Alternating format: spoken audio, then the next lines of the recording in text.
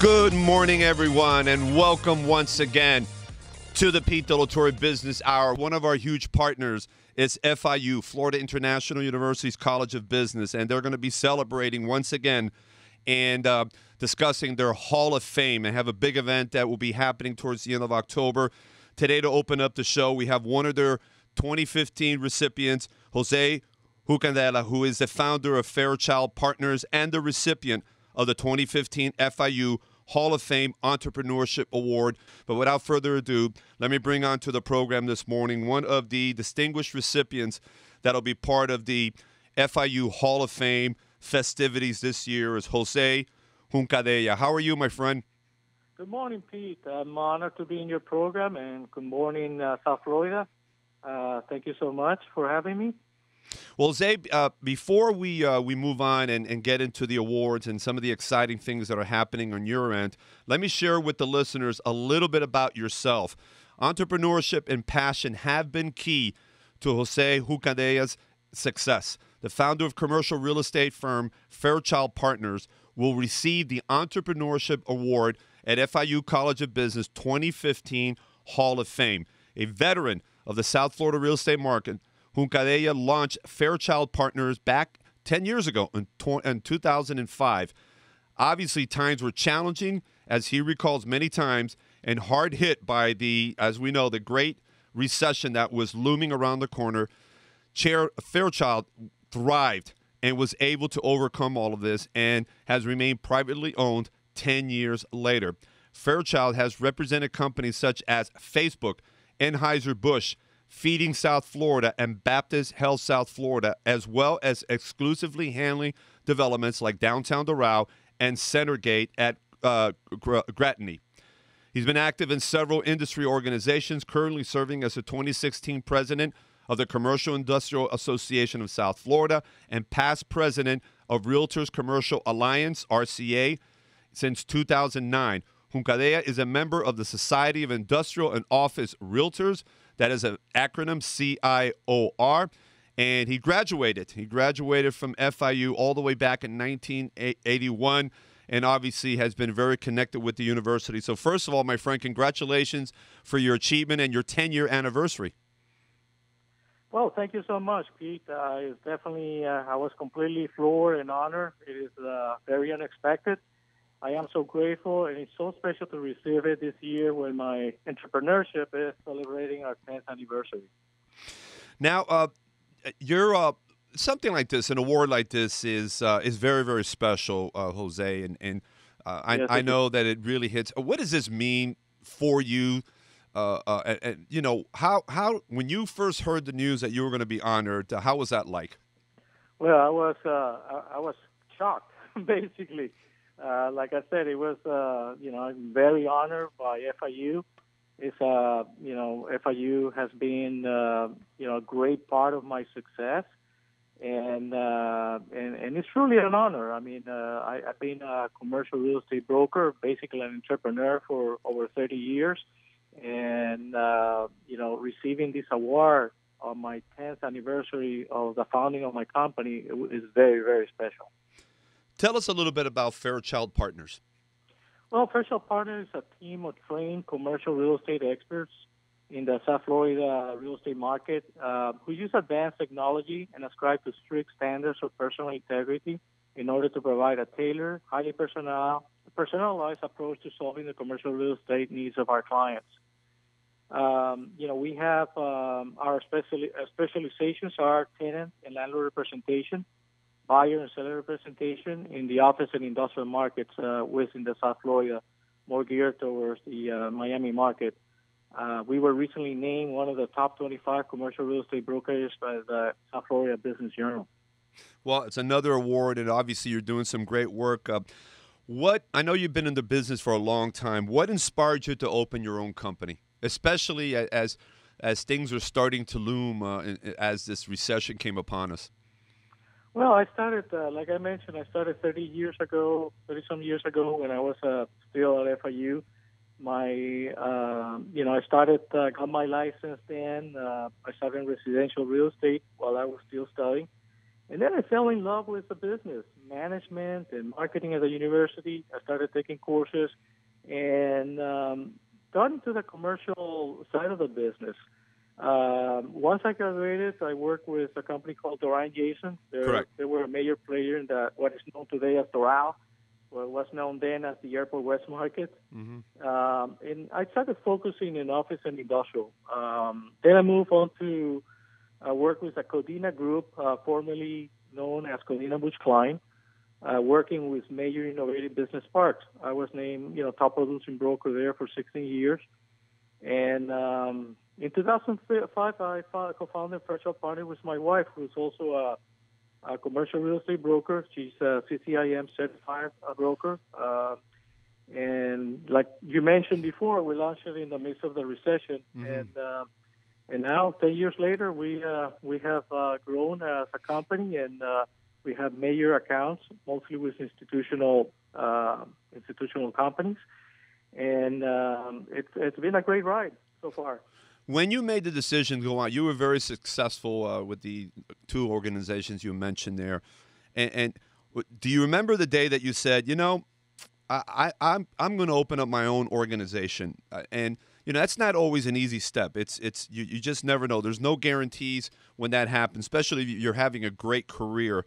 Uh, do you recall when you made that decision how it felt like uh, inside of you to say, you know, I'm now going to go on my own here? Uh, how did that feel like? Because so many, so many uh, entrepreneurs that are listening this morning went through that, and then we have also a lot of professionals that are in that state right now of thinking about making that move.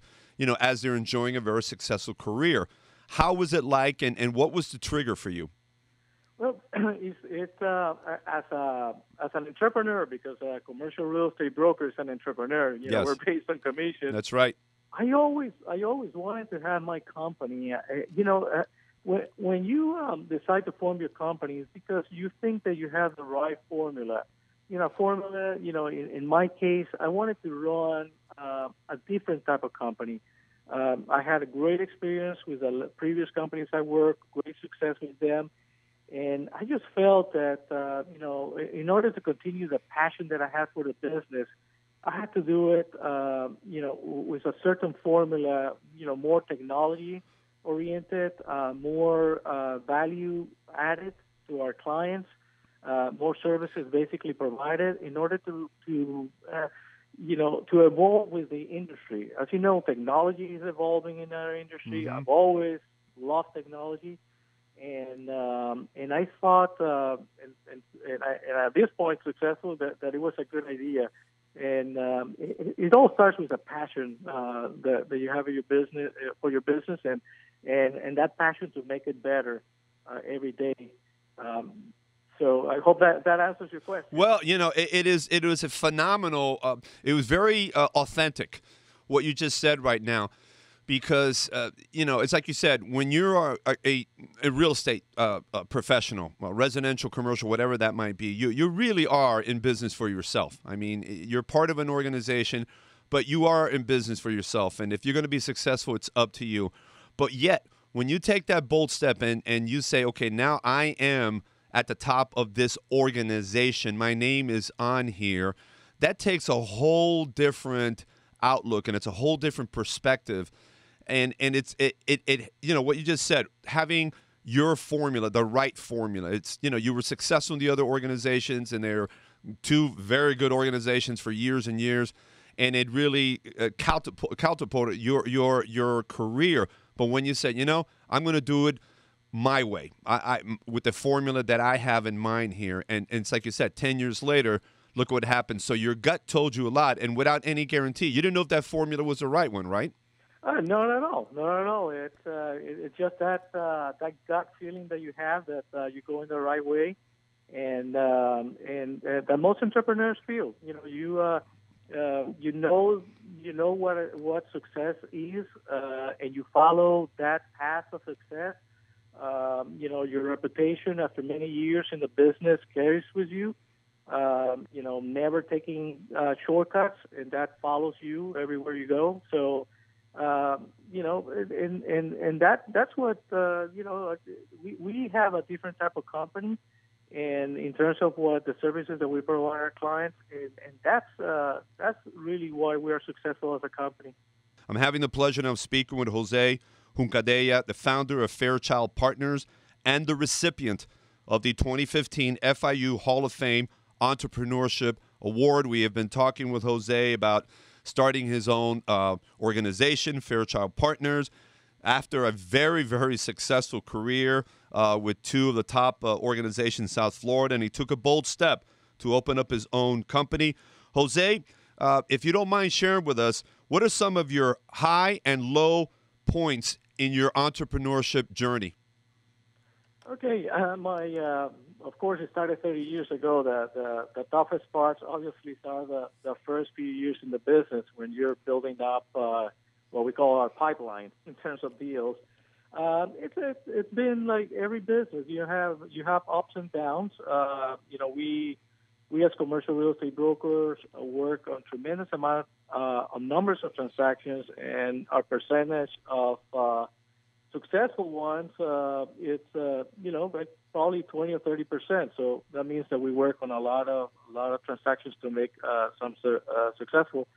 Um, I, I think the toughest part uh, that we've had of the last 30 years has been the the Great Recession you mentioned mm-hmm. uh, earlier, where uh, you know selling real estate was like selling ice to the Eskimos. There was no activity. Right. And it is uh, it is a economic condition we had never seen before.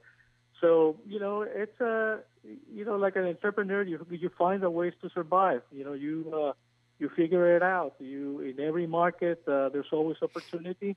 And uh, you know we had at that time uh, you know we had started a company, we had built it up, we had a lot of personnel and. Um, and it was challenging, but we found our way to survive, and uh, with uh, with integrity and the honesty that we've always worked with, and um, and that that has been mostly mostly the downs. The ups, of course, have been the the very successful uh, when you know our clients uh, uh, are grateful for what we do for them. When we are successful in our projects, uh, we have handled a lot of uh, projects for our clients, and thank goodness, all of them have been uh, have had good results. A lot of have a lot of it has to do with uh, you know how we approach our projects, uh, the marketing that uh, we provide to them, and the uh, and and and just uh, getting involved in the whole process uh, through they you know every single day. make sure that everything is running the way you want it to run. Is that part of, of the right formula for Jose and his team? Absolutely, absolutely. It's formula. I think our brokers. Uh, I think it's the reality. Our brokers are highly trained. They, uh, you know, we immediately uh, involve them in technology and using, uh, you know, all the tools that uh, that that we can bring from the, uh, you know, cloud-based systems, from marketing, and um, and not as a typical. I wouldn't call it a typical broker, but we we are are trained to know about uh, about construction, about development, about legal issues, and uh, and we we highly train our personnel and our brokers to to be able to every single client provide a lot of service to them uh, in order for them to make the right decisions. Now, in speaking about the market, the market of you're one of the leaders in South Florida and we are uh, almost in the new year. it's amazing when I think yes. back. January 1st was just yesterday, and, and 10 months later, we're, we're starting to take a look back. I mean, we're still capitalize, trying to capitalize and leverage opportunities in the fourth quarter of the year. But uh, how, uh, in your professional uh, opinion and, and in being in this business as long as you have now, uh, how has 2015 developed and, and – what do you think uh, is are the early signs for 2016? Uh, good question. Uh, 2015 has been a very good year for the commercial real estate industry, and um, you know what we do is uh, mostly industrial and office real right. estate. Mm-hmm. From the industrial side, um, you know we we have seen great activity in the market. Uh, we ourselves signed uh, the largest deal um, coming into this year, which is was the Amazon.com, mm-hmm. uh, you know, 335,000 square foot lease in uh, in the Airport West market. And this year we handle a major park called Transat Logistics Center that we started from scratch and mm-hmm. completely mm-hmm. leased up over 200,000 square feet. So uh, it's been a very positive year. Uh, you know, there's uh, looming into the future. We have uh, the, the Panama Canal expansion, yes. which we believe is going to bring more trade to South Florida. Uh, our economy continues to grow. Our figures for the airports are an all-time high. Our uh, population uh, also is growing. Our employment uh, employment is in you know in the upper uh, echelons of the country. So very positive during 2015, and not only that, but it looks like 2016 is going to be that way.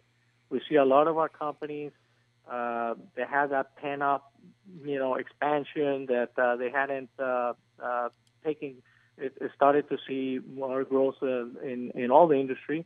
Uh, there's a lot of new development going on through the industrial sectors, both in Medley, Airport West, Hialeah, and um, and that that uh, it, you know the occupancy levels is in the upper 90s, so it couldn't be better for 2016. I you know we expect also in the office and industrial to continue for at least one more year can't, can't say what's going to happen in 2017, but at least for 2016, it's, uh, it's looking that it's going to be very, very good. Is there anything out there that we should be aware of to make sure that we we can continue to have uh, this growth and and and you know and, and the economy flowing the way it is? Is there anything out there that we've got to keep an eye on so that we don't get caught by surprise? I think that, that the major challenge that we're all facing is infrastructure. I think uh, you know uh, at least uh, you know the the city and the state is helping us with you know the Port Miami and some of the infrastructure there. But uh, we see a lot of uh, you know challenges with traffic. Uh, you know, in the mm-hmm. Airport West, uh, you know, we're you know basically opportunity has been for for parks to be created, being more urbanized just because of the traffic. Um, and and that's I think the the biggest challenge that we have. Um, another challenge that we have is the lack of land. I mean, there's a, there's been such a demand for land in Miami and uh, in South Florida, realizing there's only 16 miles between the Atlantic Ocean and the Everglades, right. that uh, the amount of land uh, and the cost of land has become very, very expensive. So that is something that we got to keep an eye on. Well, in order ha- to continue our growth. Well, the the growth that we're seeing literally is vertical uh, because of what you just said we uh, we're kind of running out of land, and we uh, now are starting to see a lot of projects go up. I think a lot of the zonings have been loosened up a little bit to allow more uh, high-rise construction. So I think in probably five to ten years, we're going to see a metropolitan area that has uh, where you know before a I'm going to say a 15-story building, 20-story building, you know, outside of of Brickell, Gables, downtown was uh, was a rarity. I think that's going to become more of a common look because of what you just said right now. We're going to see a lot more vertical 15, 20 story buildings and in, in, in the suburban areas as well. Oh, absolutely. If you go to the Doral now, you'll see some high-rise, uh, yep. Uh, you know, residential.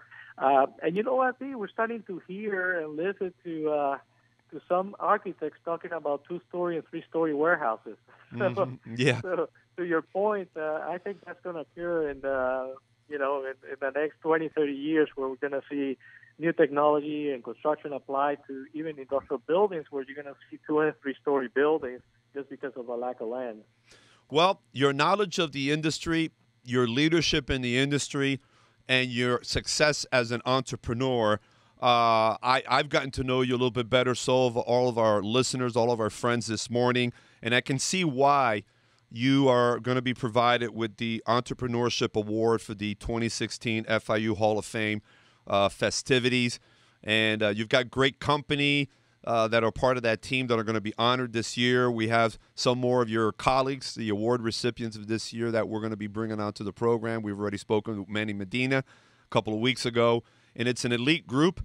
And I can see why you're being honored. And my congratulations to you. It's got to be just something wonderful for the family as well, correct? Oh, absolutely. We're all very excited. We're gonna bring uh, all our family to the event and uh, and uh, all our companies. So we're uh, uh, again we're we're super honored to be uh, to, to be the recipient. Uh, it, it is great for for us. It's a it's, uh, it's, it's probably the best reward that I can receive from uh, the years in the business.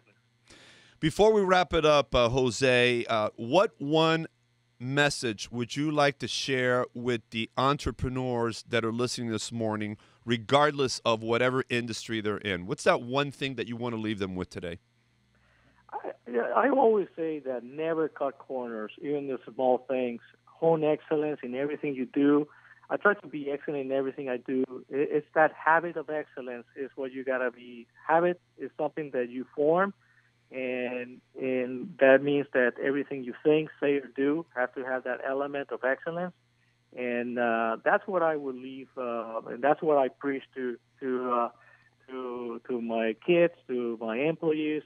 And uh, if you get used to that habit, uh, you're going to be successful no matter what do it right and always continue to do it right because uh, even though you may be tempted to take those shortcuts from time to time, stick with your plan, stick with doing things the right way because you know all of us want to have sustainability, long-term sustainability in our business and one of the key elements of that is doing things the right way from the beginning and ongoing because it's it's also at the end of the day, Jose, the legacy that you leave for your family and the marketplace as a whole.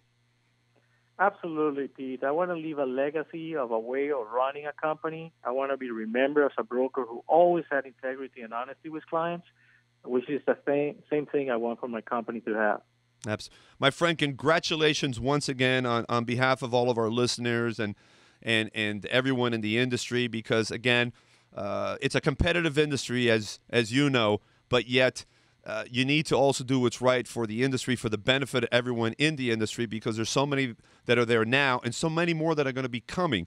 And you want to make sure that you know commercial real estate and every part of it is it's something that everyone uh, or a lot of folks aspire to to become involved with, because the more we get quality people in the industry, the better it's going to help our economy in the long run. So I cannot thank you enough, and of course, congratulate you for being honored this year by FIU.